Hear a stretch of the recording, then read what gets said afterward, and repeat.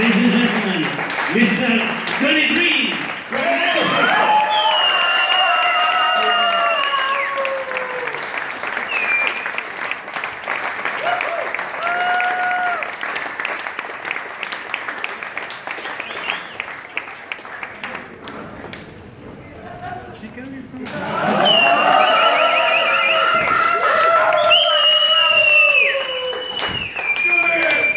He will some something good for you.